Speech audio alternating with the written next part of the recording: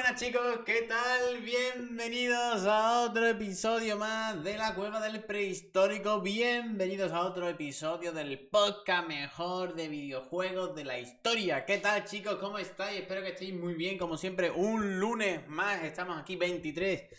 Lunes 23 de septiembre, última semana para que finalice nuestro querido, pues nuestro querido septiembre y entra octubre. Pero ahí no queda la cosa. La cosa es que hoy, a las dos y media de la tarde, si no más me equivoco, ha entrado el otoño. Sí, esa temporada, esa época, esa estación tan bonita del año, la cual las hojas de los árboles se caen, pero nuestras ganas nunca decaen.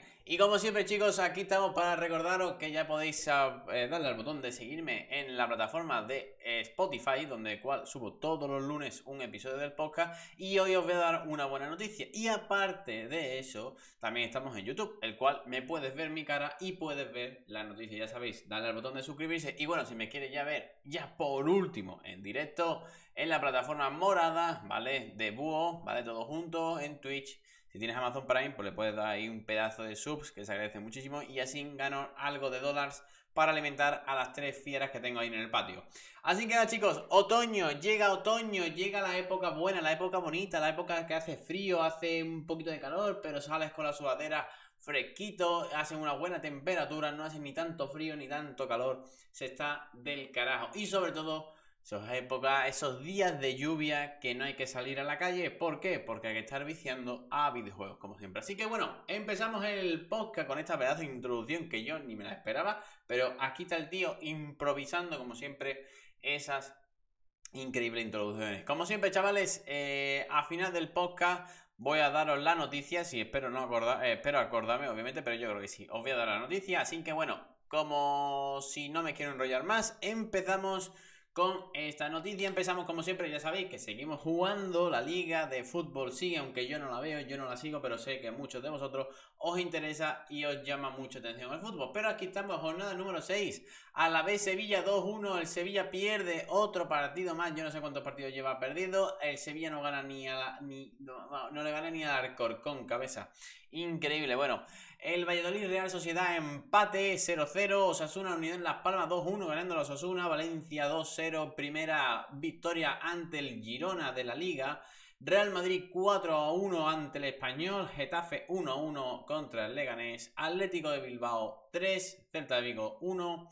Villarreal que está jugándose ahora mismo en directo va por la primera parte y en el descuento va Villarreal 1, Barcelona 2 y hoy a las 9 de la noche, que faltan unas más o menos unas 2 horitas, menos de 2 horas, Rayo Vallecano, Atlético Madrid. Y mañana a las 9 de la noche, para finalizar la jornada 6, sería Betis. Mallorca, iba a decir RCD Mallorca, pero bueno, me la pela. Así que bueno, aquí está dicho. Empezamos con las noticias bastante interesantes de videojuegos. Como dijimos en el anterior podcast, Flappy Bird va a salir eh, otra vez oficialmente, pero el creador original de Flappy Bird no aprueba el reveal de su popular juego. ¿Por qué? Pues lo dice por aquí. Sin embargo, ha explicado en redes sociales que no tengo ninguna relación con su juego, no he vendido nada, ¿vale? El creador original también ha añadido que no apoyo cripto. Se cree que en referencia a Michael Robert, ¿vale? El líder del proyecto del nuevo Flappy Bird y quien tiene relación con 1208 Production, una compañía cripto, ¿vale? Y bueno, eh, Flappy Bird fue una sensación en el mundo de los juegos para móviles de 2023, 2013, acumulando en su momento cerca de 100 millones de jugadores y recaudando diariamente alrededor de, 100, de 50 mil dólares con los anuncios de la app. ¿Vale? ¿Qué quiere decir en, en Hugen o en, en? ¿Vale? Este hombre, bueno, pues decidió retirar el juego en 2014, como dije en la anterior noticia, y es que básicamente porque la gente perdía el trabajo, estaba súper enganchada, en fin, tal igual, tal igual, tal igual. Así que lo que quiere decimos con esta noticia es que no aprueba el revival de su popular juego, ¿vale? Pasamos a la siguiente noticia, confirmado el lanzamiento de, en Occidente de Raiden Nova, ¿vale? Eh, bueno, un desarrollador por el estudio Moss estaba confirmado hasta ahora únicamente para Japón, donde se iba a publicar el 31 de octubre para PlayStation 5, PlayStation 4 y Nintendo Switch, ¿vale? Y ahora se ha confirmado también su llegada a Europa y a USA, ¿vale? Sumando además una versión para PC de la cual no se sabe nada hasta ahora. El lanzamiento occidental además se producirá el mismo día que en Japón, el 31 de octubre, por cierto, día de Halloween, por si no, no lo sabéis. Y lo mejor de todo es que al día siguiente no se trabaja. Vale, Nintendo confirma el final de las actualizaciones regulares para Splatoon 3 tras dos años. La compañía cumple así el soporte planeado inicialmente. Tal y como la compañía indicó en agosto de 2022 durante el Splatoon 3 Direct previo al lanzamiento del juego, la tercera entrega de la serie de shooter de Nintendo ha recibido dos años de soporte con actualizaciones regulares cada tres meses aproximadamente y además de un pase de temporada dividido en dos entregas Chromopolis Chromopolis y la cara del orden oye pues ni tan mal, ¿eh? dos años de soporte para un juego que salió está súper bien Noticia importante, chicos, para la gente de Battlefield. Vince Zampella confirma que el próximo Battlefield regresará al presente y a un sistema de clase tradicional. También se está planteando reducir el número máximo de jugadores. Esto es una noticia muy tocha porque Battlefield ahora mismo está en la cuerda floja, lleva ya unos años en la cuerda floja. Parece ser que Battlefield 2042 no ha sido el mejor, mejor Battlefield de, la, de, la, de los últimos años lo digo yo, ¿vale? Y lo dicen muchas personas que han echado muchísimas horas, no termina de enganchar, ¿vale? Y es que, bueno, ha indicado que la próxima entrega regresará al presente como ambientación. Si miras hacia atrás, en busca del punto álgido de Battlefield, encuentras la era de Battlefield 3 y 4 cuando todo era moderno. Creo que tenemos que acertar claramente con el núcleo de lo que es Battlefield y a partir de ahí ver hacia dónde avanzamos. Tiene totalmente la razón porque Battlefield 3 fue un auténtico bombazo y el 4 la verdad que fue muy buen juego, el cual yo lo he jugado también, lo he probado poquito, pero me ha gustado mucho más el 3, ¿vale? Y el sistema de especialistas de Battlefield 2042 será desechado en favor de un sistema de clases más tradicional. No funcionó, no encajaba, dice Zampella. Pues muy bien. Hay que tomar decisiones, hay que escuchar a la puta comunidad, tío, lo que te dicen. Si la comunidad no le gustan las mierdas de la. de la. de los sistemas de clase de los especialistas, pues ponle el sistema de clase normal y corriente. El el ejemplo más tocho que yo veo sobre los juegos es Fortnite. Fortnite es el juego el cual siempre, siempre, siempre, o casi siempre, yo no sé ya actualmente, pero casi siempre ha escuchado a la comunidad. Y se ha hecho el juego que es. ¿Por qué? Porque escucha a la maldita fucking comunidad. Tan fácil, tan simple como eso. La gente que lo que quiere, tío, pues mejora esto, esto, esto y esto. Esto es muy feo, esto quitarlo, tal y cual. Pues los desarrolladores, Epic Game, dice, tío, pues es verdad, si ponemos esto la gente no juega, pero si volvemos a poner esto la gente vuelve a jugar e incluso vienen más jugadores, coño, blanco en botella, horchata, ¿vale? Pasamos a la siguiente noticia y es que el estudio de N-Dream, especializado en títulos de VR, despedirá al 17,5% de su plantilla, ¿vale? El CEO de la compañía asegura que es un momento complicado para este mercado. Y tiene toda la...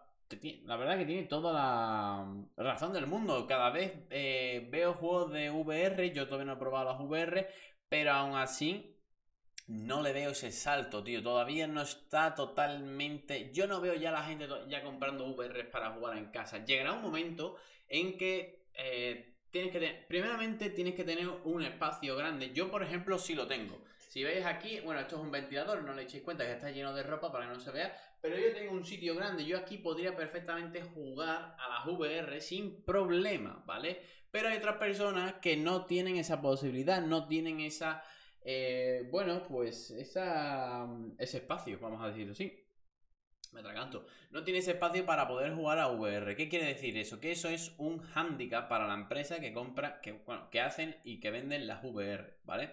Así que bueno, el estudio especializado en VR es responsable de títulos como Synapse, Power Wash, Simulator VR o Far Cry VR cuentan con unos 250 empleados divididos en cuatro equipos, Enedring Studio, Orbital, Nerd Light y Elevation. La operación podría afectarse a unos 40 trabajadores, tío, se quedarían quizás con 210 personas. Madre de mi vida. Pero bueno, si son desarrolladores de videojuegos no pasa nada porque esa gente busca trabajo bastante, bastante rápido. Así que bueno, pasamos al siguiente. Dragon Dogma 2 se actualiza con un modo de dificultad casual y mejoras al rendimiento. Debe reducir la cantidad de crasheo, ¿vale? El RPG de Hideaki Itsuno ha recibido mejoras al rendimiento que deberían notarse en la sobrecarga de CPU y en la reducción de la frecuencia de crasheo. Se ha añadido con eh, un nuevo modo casual, lo ponen entre comillas, de dificultad que reduce algunas fricciones. Es posible cambiar en cualquier momento a casual, pero no es posible regresar desde este modo una vez activado. Estos son los principales cambios, ¿vale? Reducción de la tarifa al alojarse en posada, reducción de precios de las piedras transportadoras, es más fácil que el peso de transportada llegue a pesado o muy pesado, reducción de la energía consumida al correr fuera de batalla y eh, si el Arisen muere, el medidor de pérdida no aumentará. Seleccionar carga desde el último punto de guardado. No tengo ni puta idea. Pero bueno, los peores, eh, los peones se recuperarán de la peste dracónica sin que ésta produzca una calamidad devastadora. Incluso si los síntomas progresan hasta su fase final. No he entendido una puta mierda, pero bueno, ahí tenéis el juego, chicos, y le echáis un vistazo si os gusta, ¿vale? Pasamos al siguiente, y es que Disney Pixel, eh, Pixel RPG se lanzará en octubre para smartphone, ¿vale? Aún estoy esperando el juego de of Empire, que lo dije hace dos o tres podcasts, de Age Empire que va a salir en smartphone, ¿vale? Va a salir el 17 de octubre, recordad esa fecha porque yo lo tengo ya en la predescarga y estoy esperando que salga.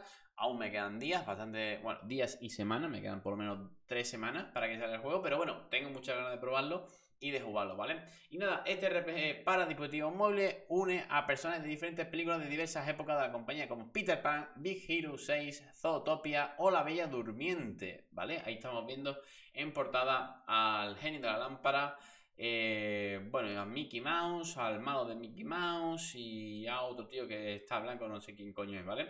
Según indica la compañía en nota de prensa, Disney Pixel RPG ha superado las 600.000 preregistros en la Apple Store y Google Play Store.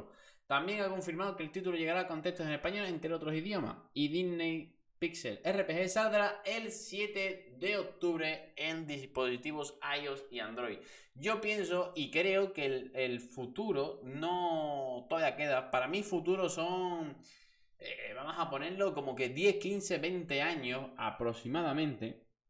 El mundo de los videojuegos en los móviles será un gran mercado. ¿Por qué? Porque ¿quién no tiene móvil ahora actualmente? ¿Quién no tiene móvil? ¿Quién piensa? Uy, vaya gallo me acaba de salir medio de agüita. Piensa actualmente quién no tiene móvil. Mi madre hace dos años no tenía móvil y ya tiene un móvil. No lo usa para nada, no tiene ni, ni WhatsApp ni mierda, solamente para llamar. Tiene un móvil Android, pero solamente para llamar y para ver eh, el Google, para, yo qué sé, buscar sus cosas que le gustan, ¿sabes? Pero eh, ya te digo, todo el mundo tiene móvil, todo el mundo tiene acceso a un smartphone y cada vez los niños que nacen tienen móviles antes de tiempo, básicamente. Así que, bueno, ¿qué, digo yo? ¿Quién no va a tener juegos en el, en el móvil, ¿sabes? Ahora estoy viendo actualmente que la gente ya no juega Clash of Clans ni juega Clash Royale. Bueno, siguen jugando, pero muy poca gente. Ya lo que ve a la gente es jugar al Brawl Stars. Un juego el cual multijugador es muy fácil de entender, muy fácil de jugar y bastante adictivo, la verdad. Así que bueno, yo creo que de aquí a esos 10, 15, 20 años los juegos para móviles van a cambiar muchísimo. Obviamente, tanto la tecnología de los móviles como los juegos en sí al adaptarse a las nuevas tecnologías que van saliendo, ¿vale? Así que bueno, pasamos a la siguiente noticia y es que IA continuará dando soporte a los SIM 4 y no tiene planeado lanzar los SIM 5. Project Rene sigue en desarrollo y tendrá un playtest en unos meses, ¿vale? El artículo comienza repasando algunos hitos del juego de simulación que acumula 500 millones de jugadores desde su primera entrega en el año 2000, antes de pasar a hablar sobre el futuro de la franquicia, ¿vale? Y bueno, vamos a ver por aquí, hostia, esta, esta noticia es larga de cojones, la verdad. Para empezar, confirma que Amazon MGM Studios será la compañía encargada de la película de Los Sims, ¿vale? Como adelantó The Hollywood Reporter el pasado mes de marzo. Kate Herron Loki será la editora y, co-guionista de la película junto a Briony Redman, ¿vale? Luego, EA considera que Los Sims, una plataforma de entretenimiento impulsada por nuestra comunidad, y prescindirá en el futuro de los lanzamientos lineales y secuenciales de nuevas entregas.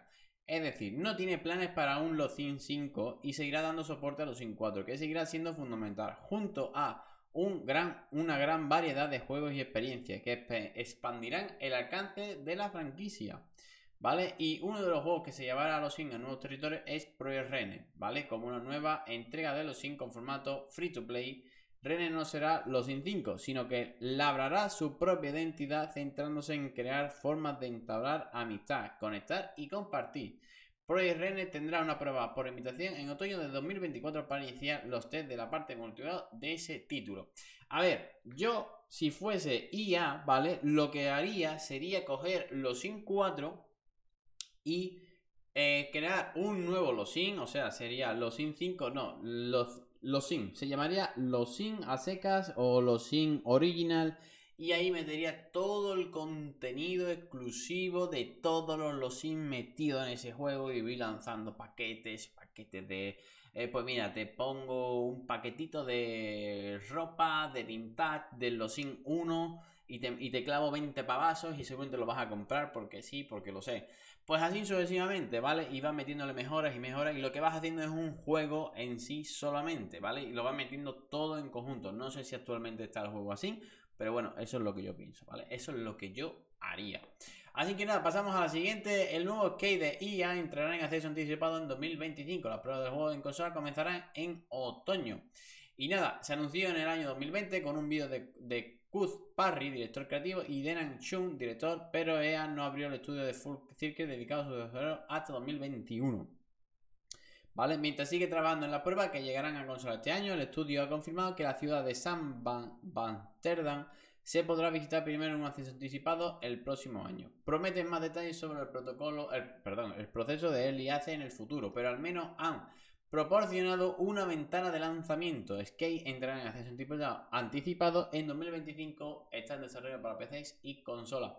Yo me acuerdo cuando jugué el primer Skate en mi vida, que nunca lo había jugado, que creo que era Skate 3, si no me equivoco, de PlayStation 3. Y la verdad que yo estaba flipando. Había un modo de juego libre que lo que hacía era, eh, te tenías que coger una rampa todo grande y caerte. El que se hiciese más daño con el personaje era el que ganaba. A lo mejor pegabas un porrazo con una barandilla, te caías, te partías un tobillo, no sé qué, cuando se fracturaba te daban puntos porque la fracturación de cráneo, tal y cual, y conseguías un montón de puntos y mis colegas y yo pues nos picábamos en casa jugando al skate. La verdad que ha cambiado muchísimo skate, sinceramente ha, pegado ya un cambio brutal, ya no sé ni cómo estará actualmente, pero tengo buenos recuerdos de este juego. Y bueno, pasamos al siguiente anunciado, Freedom Wars Remaster para PC, Play 4, Play 5 y Switch. Bandai Namco recuperará el juego de Dims para Vita. Esta remasterización recuperará el RPG de acción desarrollado por DIM, Dragon Ball Xenoverse, y publicado en 2014 por Sony para PlayStation Vita, ¿vale? Eh, la nueva versión permite jugar hasta 4K y 60 FPS en PC y consola PlayStation, eso hay que verlo, lo de PlayStation. Añade nuevos niveles de dificultad y cuenta con un sistema de fabricación de armas revisado, ¿vale? Y nada, pues saldrá el 10 de enero de 2025 en PC, PlayStation 5, PlayStation 5 y Switch. ¿Por qué ha puesto PlayStation 5 y PlayStation 5? Supongo que será PlayStation 4, PlayStation 5 y Switch. Así ha habido una pequeña rata ahí. Ha anunciado los juegos de Xbox Game Pass de la segunda mitad de septiembre, Forspawn 2 y ahora solo títulos destacados, ¿vale? Vamos a ver, eh, aquí tenemos los juegos, los cuales os voy a decir ahora mismo, 19 de septiembre, que ya ha pasado porque estamos a 22, Wargrove 2, ¿vale? En PC y consola. 20 de septiembre, Frostpunk 2, ¿vale? Estamos, obviamente ya ha salido. Y eh, después pasamos al 24 de septiembre, que será Ara History Untold, dentro de dos días. Y esos son los juegos que abandonarán Xbox Game Pass el 30 de septiembre de 2024. Gotham Knight, PC y consola, Let Build Azov, Loop Hero, My Aportia, Paw Patrol Grand Prix, Phoenix White Acetor Trilogy, The Walking Dead The Complete First Season, The Walking Dead Season 2 y Valheim, ¿vale? Esos son los juegos que van a abandonar. Y por cierto, hablando de Game Pass, pues ya meto esta cosita, esta información. Bueno, no es información, es una información mía, pero bueno, ya no hemos terminado, chicos, el juego de Robin Hood, ¿vale? Eh, Shit World. La verdad que me ha encantado, me ha fascinado, me ha me ha sorprendido muchísimo, me ha gustado mucho. Tengo, eh, hay un vídeo que quiero sacar dando mi opinión sobre el juego y a lo mejor lo voy a subir. A lo mejor el vídeo, eh, la opinión dura un minuto, dos minutos, pero quiero lanzarla y quiero soltarla como clip, como vídeo para ponerla en YouTube para el que quiera verlo y, escuchar esas opiniones que he hablado, ¿vale? Así que nada, terminamos eh, Robin Hood. Tenemos que terminar Heaven Dash 2, eh, Heaven Dus, para que me entendáis, 2. Lo tenemos que terminar porque nos falta poquito. Y quiero empezar Space Marine 2, ¿vale? Y The Witcher 3 ahí está todavía apalancado el cabrón. Pasamos a la siguiente noticia y es que Clock Tower Rewind de llegará a PC y consolas en octubre, un par de días antes de que, eh, de que en Japón. Y a tiempo para Halloween, ¿vale? Esta remasterización del clásico de terror de Hifumi Kono, publicado originalmente en el 95, por cierto año que nació el servidor, para Super Nintendo, permitirá por primera vez jugar de forma oficial al título fuera de Japón gracias a una colaboración entre White 4 World, Limited Run Games y Capcom y Sunsoft, ¿vale? Un segundito porque me han hablado por el... vale. Pasamos a la siguiente noticia, chicos. La app de Super NES en Nintendo Switch Online se actualiza con cuatro títulos, ¿vale?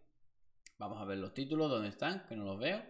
Eh, eh, Battle, Battletoad and Double Dragon de Ultimate Team es un crossover desarrollado por Rare que contó con versiones para varias plataformas de Nintendo y Sega. La versión de Super NES se publicó en el 93. Como curiosidad, es uno de los títulos de, de, Rare que se quedó fuera de la colección de Rare Replay. Así que trata de la primera reedición de juego en tres décadas. Vale, eh, Yaleco, eh, Yaleco Rally Big Run de Supreme. Madre mía, es que el nombre. El nombre es la puta hostia, tío, de grande, tío. 4WD Challenge. Es un juego de rally desarrollado por Jaleco que se lanzó en el 91 y que cuenta con ciertos elementos de gestión fuera de las carreras, como elegir patrocinado o contratar empleados. Y como último, Cosmo. Ah, no, perdón. Como penúltimo, Cosmo Gun de Puzzle es un juego de puzzle del 93 creado por Namco eh, que debutó primero en recreativas antes de llegar a Super Famicom. Y por último sería Kunio Kun no de Bal Da Yo Zen In Shogun. Me cago en la puta el nombre que le ponen a este puto juego, tío. Es uno de los numerosos juegos de balón prisionero con personajes de la serie Kunio Kun, es decir, River City para los occidentales. No sé nada, no tengo ni puta idea porque esto es que me pierdo, pero vaya nombre largo, cabeza para poner eso, tío, joder. Increíble. Pasamos a la siguiente y es que EA confirma que Respawn está desarrollando el capítulo final de Star Wars Jedi. Los dos primeros títulos suman más de 40 millones de jugadores. No está nada mal, ¿eh? En una presentación a inversores, Miele, Miel ha declarado en torno al minuto 38 del vídeo que Respawn está trabajando duro para llevar el capítulo final de esta emocionante historia a los jugadores.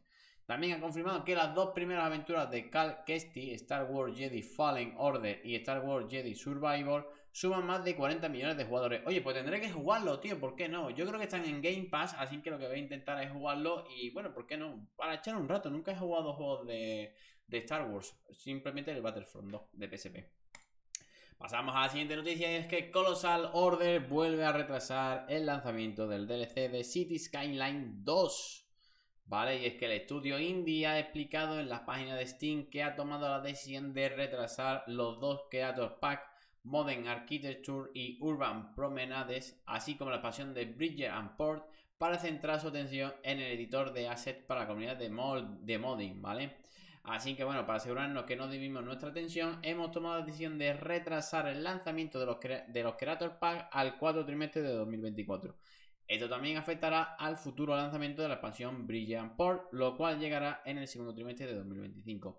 Como siempre digo, aquí tenéis mi opinión, me parece muy bien, tío, muy bien, porque es que, de verdad, tío, que, que muchas veces la gente no entiende el tema de desarrollar un videojuego, no entiende todo ese rollo me parece perfecto que hagan esas cosas y que, bueno, tío, si, si ven que es necesario mm, bajar un poco el ritmo y centrarse en otras cosas, pues, tío, se dice y punto. Se plaza, se aplaza el lanzamiento del DLC y punto. No pasa auténticamente nada, señores. Si os gusta el juego, si la comunidad le gusta realmente el juego, la gente va a seguir jugando y va a seguir esperando para que salgan la nueva el nuevo DLC. Es así. GOG retirará 29 juegos de su catálogo en los próximos días, 25 de ellos mañana mismo, ¿vale? Pues nada, os lo voy a decir porque, bueno, yo no sabía de esta plataforma de GOG el otro día con el Amazon Prime Gaming, que hay juegos que te regalan, pues estuve metiéndome y me descargaron un par de juegos, ya sabéis, el Haven Dash 2, uno de ellos, el cual dije la noticia de que había metido juegos. Así que bueno, los títulos afectados son los siguientes, Adult Swing, 30 de septiembre, Westerado, Double Barrel, King Way, Headlander, Fish Puncher. Y Meridian 4, eh, Boom Blaster, Bosch Rush Boulder, Booker 9, Crystal 3, Edge of Galaxy, Full Moon Rush, Good Blood, Gold Castle, Hero Survival, Heroine, Judas, eh, o Killfish, Oxygen Cocktail, Pick Love, Probo Rush, Red Dash, Replicator, Starless, Strike for Kitty, The Dark Prophecy, The Wizard eh, and the Slug, eh, Ultra Goodness, Ultra Goodness 2, Ultra Goodness Bundle, madre mía, Virus y War for War y Witchcrafty, ¿vale? Madre mía. Pasamos a la siguiente y es que PlayStation anuncia una Play 5 y Play 5 Pro edición especial para celebrar su 30 aniversario. Se abren reservas el 26 de septiembre. Y así se está frotando las manos un poquito PlayStation para sacarle los cuartos, rascarle los bolsillos a los aficionados de PlayStation. Porque esto es otra manera de sacarte los dineros, los cuartos, los pesos, ¿vale? Es así, la, la manteca colorada, compadre. Y nada, lo dicho, eh, en el caso de PlayStation 5 edición 30 aniversario, el mando se incluye en la caja es el normal, pero en el día de PlayStation 5 Pro, edición 30 aniversario, viene el DualSense con los colores especiales también en la funda. Que si te tienes que gastar tu compañero, sí, tú el que trabaja 8 horas diarias todos los putos días, de lunes a viernes, para cobrar, yo que sé, 1200, 1300 o dependiendo de lo que tú quieras cobrar, si te compras una PlayStation 5 normal y corriente edición 30 aniversario, te vas a comer una mierda porque tu mando va a ser el mismo de siempre, blanco pestoso. Pero claro, si te compras una PlayStation 5 Pro que te cuesta el doble de cara, pero con esa, esa, edición aniversario especial de 30 aniversario, ¡wow! Increíble, que es simplemente gris, porque tiene el color de la PlayStation 1, pues si te va a venir ese eh, mando con ese color grisáceo, ¿vale? Increíble, pero bueno, oye, caché por el merchandising que te mete PlayStation, la verdad. Pasamos a la siguiente. Que hater me ha sonado eso, tío. Yo soy súper hater ahí, ¿eh? Ha anunciado la fecha de lanzamiento de Two Point Museo con extras de reserva de Sonic, ¿vale? El nuevo juego de gestión de estudios británicos herederos de Two Point Hospital y Two Point Campus se pondrá a la venta el día 4 de marzo de 2025 y contará con versiones para PlayStation 5, Xbox Series X S y PC. ¿Vale? Eh, no voy a hablar mucho de este juego porque ya se sabe que este juego es como el, el, que ha salido ahí, el Two Point Hospital y el Two Point Campus, pues lo mismo, pero en un puto museo, ¿vale? Pasamos a la siguiente y es que Minecraft dejará, dejará de ser compatible con PlayStation VR a partir de marzo de 2025. Aquí estamos otra vez hablando de las VR y es que... Eh, o las compañías están diciendo, tío, eh, las VR no valen para nada, las VR no valen una mierda, pues parece ser que sí, van a decir eso y parece que tienen toda la puta razón del mundo. Así que no lo entiendo yo, la verdad. Yo ya te digo, yo no soy aquí el mejor del mundo ni nada. Yo comento y punto, pero a la vista de la que está, las VR parece ser que la están dejando a un lado porque, o una de dos, lo que he dicho antes, la gente no tiene sitio para poder jugar tranquilo y a gusto y tal, no tiene dinero, o es que el catálogo de juegos es muy, muy corto, ¿vale? Así que nada, pasamos a la siguiente y es que el próximo Minecraft Live se emitirá a finales de este mes, de este mismo mes, el primero con el nuevo formato, ¿vale?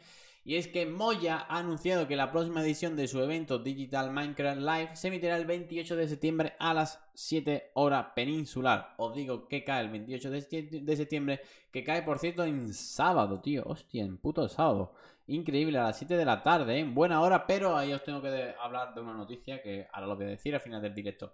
Perdón, del podcast. Esta será la primera emisión con un nuevo formato en el cual habrá noticias sobre nuestros juegos, creadores de contenido y más, ¿vale? Pues yo espero que este Minecraft Live esté súper bien, que metan cositas. Y oye, me estoy planteando de volver a jugar un poco a Minecraft de chill cuando tengan algún par de ratos y tal. Y intentar matar al puto dragón que a día de hoy estamos a 2024. No he matado al dragón, tío. No he matado al puto dragón fuck off, ¿vale? Pasamos a la siguiente noticia, es que primer teaser de la serie de animación de Netflix de Devil May Cry, ¿vale? Eh, no he jugado todo en Devil May Cry, me lo ha dicho Santiago, Santiago, si me estás escuchando, si me estás viendo desde aquí, tío, yo te pido disculpas, yo te pido mil perdones a usted, me habrás dicho que juega Devil May Cry como tropecientas millones de veces.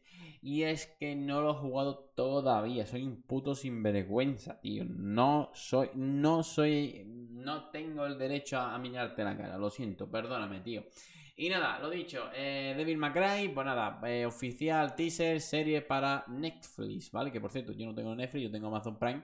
Y en Netflix es que no lo usaría demasiado. Así que bueno, RGG anuncia Like a Dragon Pirate Yakuza in Hawaii.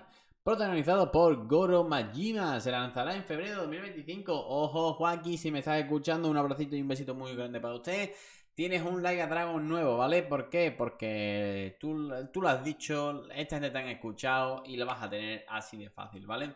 La nueva entrega de la saga Like a Dragon se ambienta acerca de los eventos de The Like Dragon Infinity World, pero coloca a Goro Majima como protagonista. Por causa que todavía desconocemos, Majima termina varando en una isla cerca de Nele, uno de los lugares clave de Infinity World, completamente amnésico. Pues ahí lo vamos a dejar y ya vosotros si queréis lo jugáis, ¿vale?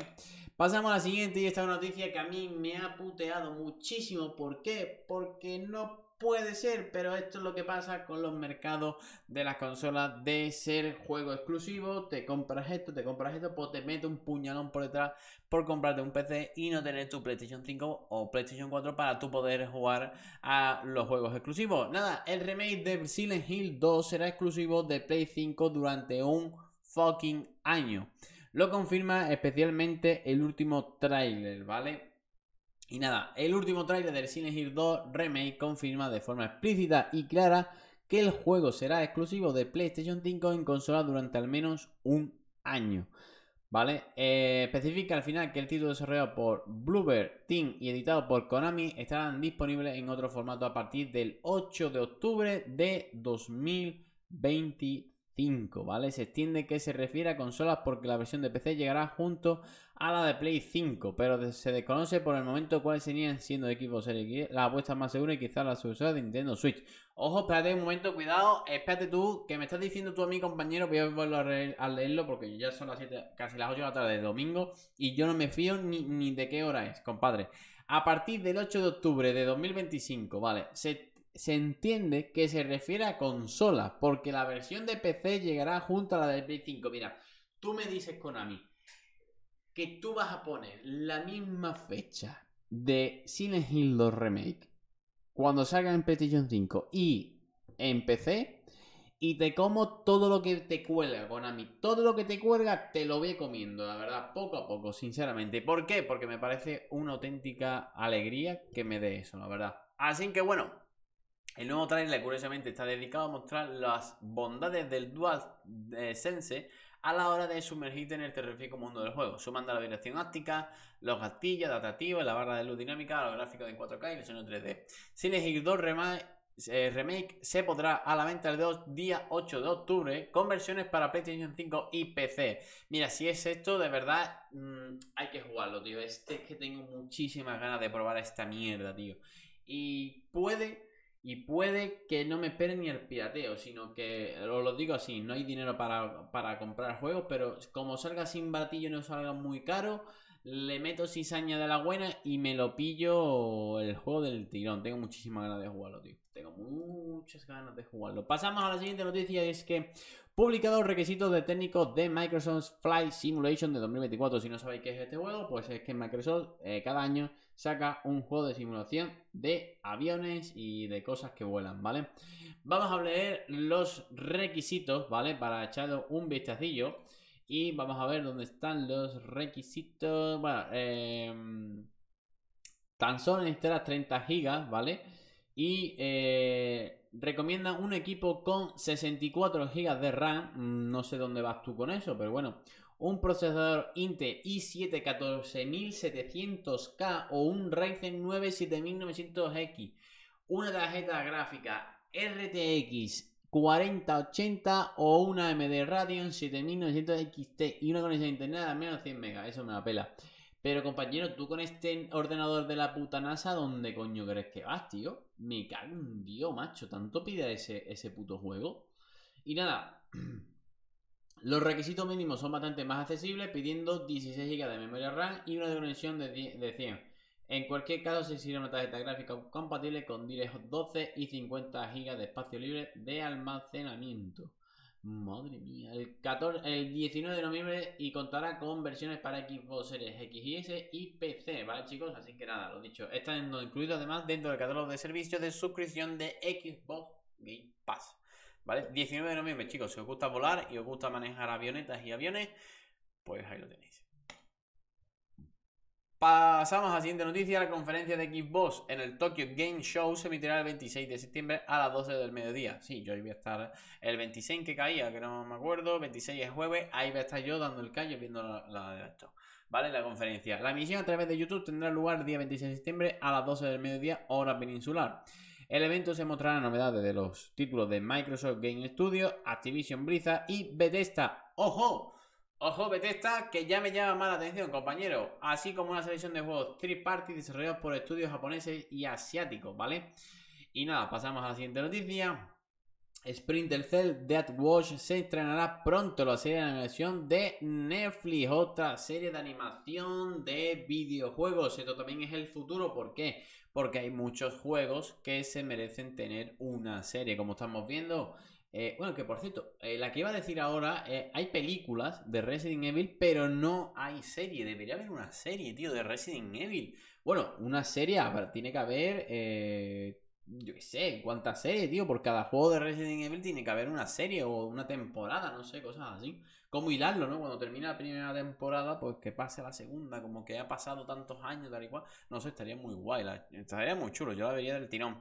Y bueno, eh, de Latos Af, eh, de Witcher, eh, bueno, tenemos Sprint de Cell, ante la noticia anterior de, de este juego, no me acuerdo si lo hemos dicho antes y se me ha olvidado, macho. Bueno, el juego que he dicho antes, ¿vale? Así que bueno, pues nada, esa es la noticia. Pasamos a la siguiente y es que es la última noticia de videojuego, pero no, la última no, la penúltima después del éxito de Black Mike Wukong, desde China están preparando un FPS de espionaje de la Segunda Guerra Mundial llamado Defiant, que promete. ¿Estáis viendo esto? Esta imagen. Yo no sé si es esta imagen de verdad, pero esta imagen se ve de puto cojones, macho. Esta imagen se ve de puto cojones, ¿vale? Si está hablando de, de la Segunda Guerra Mundial, quiere decir que es Estados Unidos, Japón, ¿Vale? Todo el tema de espionaje de allí, ¿sabes? Hostia puta, qué bien se ve esta mierda, ¿sabes? Pero bueno, no quiero decir nada, eh, pero no están proteccionados por americanos, sino por chinos. Pues nada, los chinos se van a América a pegar tiros a 25 tiros por minuto. Increíble, a, lo avanzáis, ¿sabes? Me gusta mucho la noticia, una noticia bastante, bastante buena, sí señor. Pasamos a la siguiente y es que es la última noticia de videojuego y es que el equipo de DX de FIAN niega que el juego esté muriendo y asegura que Ubisoft los apoya. Parece ser que hace poquito se estaba hablando de que X de Fian estaba en la mierda, de que X de Fian iba a morirse, X de Fian estaba viendo unos números muy malos de jugadores activos. ¿Por qué? Bueno, porque parece ser que ahí estaba con Activision haciendo boicot a la fecha donde lanzaban sus juegos, las betas, tal y cual, tal y cual. Y parece ser que no está terminando de gustar o de enganchar, llamadlo como queráis, X a los jugadores. Aquí, servidor también se dice, lo digo, porque yo estaba jugando mucho a X la beta, pero no he jugado, a día de hoy no he jugado al juego base, ¿vale? Al juego original, al juego al juego completo, para que me entendáis, ¿vale? Así que bueno, pues nada, el, juego no se está muriendo de ningún modo, dice XDFIAN en un mensaje a la comunidad donde se habla de post lanzamiento. Sabemos que hay cosas que tenemos que mejorar, como el netcode, el hit y añadir más contenido de progresión, pero el juego va bien, solo queremos que vaya mejor, lo hacemos atendiendo a las preocupaciones de nuestra comunidad, que siempre ha sido nuestro plan. Ubisoft nos apoya, nos apoya mucho y ha asignado más recursos al equipo para que podamos hacerlo, ¿vale? Aquí tenemos, bueno, pues el, bueno, aquí estamos hablando del pase de batalla. Tenemos la Season 2, la Season 3, la Season 4 y van metiendo más cosas. Eh, voy a hablar un poco sobre esto porque yo creo que soy bastante. Tengo bastante experiencia sobre esto, los juegos, sobre, sobre los juegos de shooter. Y siempre pasa lo mismo. Actualmente vivimos en un mundo de, eh, hablando de videojuegos, ¿vale? Ah, no de otra cosa, sino hablando de videojuegos, vivimos en un mundo en el cual ah, mm, terminamos cansándonos muy rápido de las cosas, por así decirlo, o completando las cosas muy rápido, no como antiguamente, que cuando te, comprabas un juego, ese juego te duraba por lo menos mínimo un año. Y sí, a lo mejor ese juego lo habías explorado como 25 millones de veces, te habías pasado 20 veces, lo habías conseguido todo al máximo, pero volvías a crearte una nueva partida y yo que a lo mejor lo jugado en difícil ¿Por qué? Porque mm, no había tanto contenido de juegos, pero actualmente en el 2024 hay muchos juegos que se lanzan, mucho lanzamiento, muchos... Em, mucho contenido para los juegos. ¿Por qué? Porque eh, las empresas tienen que tener esa atención del usuario, esa, esa atención que todo el mundo diga, la atención es lo que ahora mismo se paga más, ¿vale? ¿Y qué pasa? Si un juego no tiene atención, quiere decir que no tiene Em, jugadores. Si no tiene jugadores, la empresa deja de generar dinero, deja de generar eh, patrocinadores, también podría ser, ¿vale? Y eso quiere decir que el juego se va a la mierda, al inframundo de los videojuegos, los cuales juegos que salen, juegos que mueren a la semana, al mes o quizás al año, ¿vale?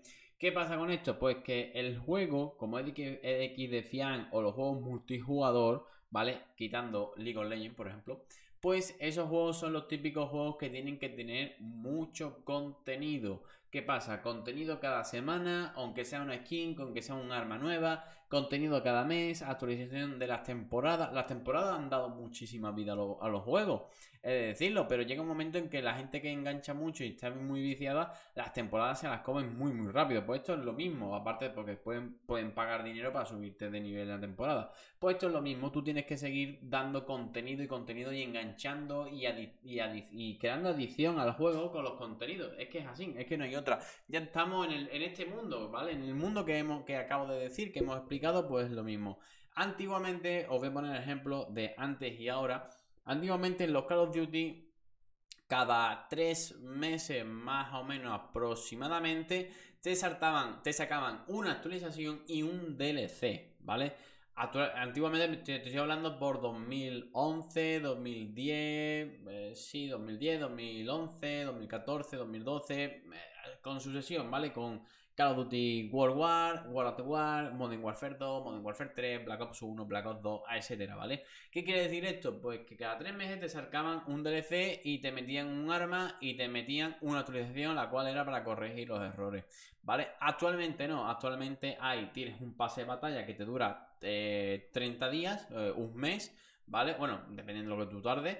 Y luego tienes cada 60 días, creo que era, te sacaban un nueva, una nueva temporada. Temporada 1, 2, 3, 4, dependiendo de lo que quieran cada juego, ¿vale? Pues para que veáis el cambio que tiene una cosa con la otra. Y aparte de eso, cada semana te van metiendo eventos. Te van, si es Halloween, te meten un evento de Halloween. Si es evento de Navidad, te meten un evento de Navidad. Si es evento de esto, te meten tal y cual. ¿Para qué? Para que la gente siga jugando, vea los contenidos, sigan gastando dinero, etcétera, etcétera, etcétera. ¿Vale? Pues con esto, ¿vale? Quiero decir que si X de Fian no se pone la pila y no va creando contenido sucesivamente como sus eh, principales competidores, pues lo que va a hacer es que se muera y va a llegar un momento en que no va a tener jugadores como, eh, yo qué sé, League of Legends, eh, Call of Duty, Diablo, CSGO, etcétera, ¿vale? Me he explayado bastante, pero creo que lo ha sido bastante entendible, ¿no? Venga, pasamos a la siguiente noticia, que son las últimas, como siempre, de la bolsa, ¿vale? La bolsa un poquitito, pues nada, chicos, que este jueves la Fed, Jeremy Powell, eh, subió, pues nada, los recortes de, de, tipos, ¿vale? Ha bajado 50 puntos básicos y eso la verdad que el mercado se lo ha tomado muy bien, pero bueno, Primera bajada de tipos de la fe, ¿qué sectores de la bolsa de EEUU lo harán mejor? No se sabe todavía, pero bueno, de momento vamos a esperar a mañana lunes cuando abran los mercados por la mañana, 10 de la mañana, hora española. Y nada, eh, fuertes compras en Wall Street, el Dow el Dow Jones y el SP500 vuelven a renovar máximos, ¿vale? Y bueno, pues em, BlackRock parece ser que cree que las expectativas de recorte de 50 puntos básicos de la Fed son exageradas. No sabemos qué quiere, qué quiere hacer eh, Powell con esto, con si ha, bajado tanto. Puede ser que este tío esté pensando en que va a pasar algo a futuro, están viendo algo a futuro que nosotros no estamos viendo, pero ellos sí, y a mejor es por algo, no lo sabemos.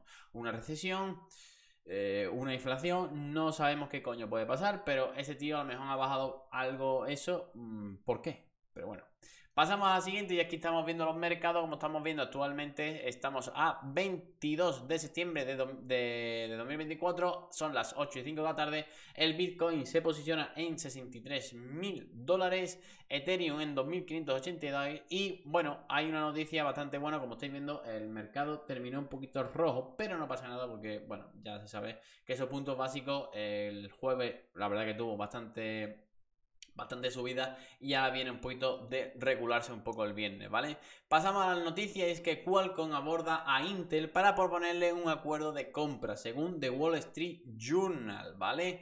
Esto es muy bueno para la compañía o muy malo, dependiendo de cómo queráis llamarlo, pero bueno. Es lo que llevamos de año, las acciones de Intel han bajado más de un 50% y la compañía tiene una capitalización que ronda los 90 mil millones de dólares. Qualcomm debería poner bastante más dinero sobre la mesa para convencer a la junta directiva y a los accionistas. En cualquier caso, siempre será menos que los 290 mil millones de dólares en los que llegó a estar valorada Intel en su mejor momento. Por su parte, las acciones de Qualcomm han subido un 20% durante el 2024 y el mercado valora la compañía en 190 mil millones de dólares. ¿Vale?